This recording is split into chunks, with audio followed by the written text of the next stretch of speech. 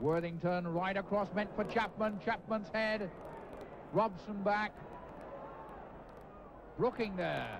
Dolan's shoulder and a first timer. A goal. He scored. Lost. Redknapp unmarked. Hurst, Robson and Brooking up. Robson. It's there. He's got it on the stroke of half time. Four men in the middle. Dolan a shot. A goal! He's got it! Free kick taken by Hunt. Even Clark has gone up into the penalty area. He must feel that the time is ripe. And that's going near him.